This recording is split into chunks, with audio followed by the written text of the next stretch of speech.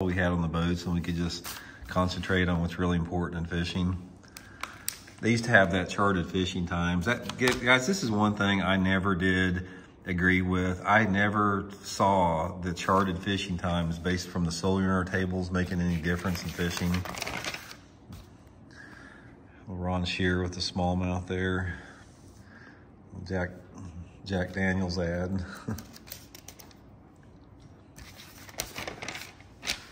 Look at that truck there, Chevy S10.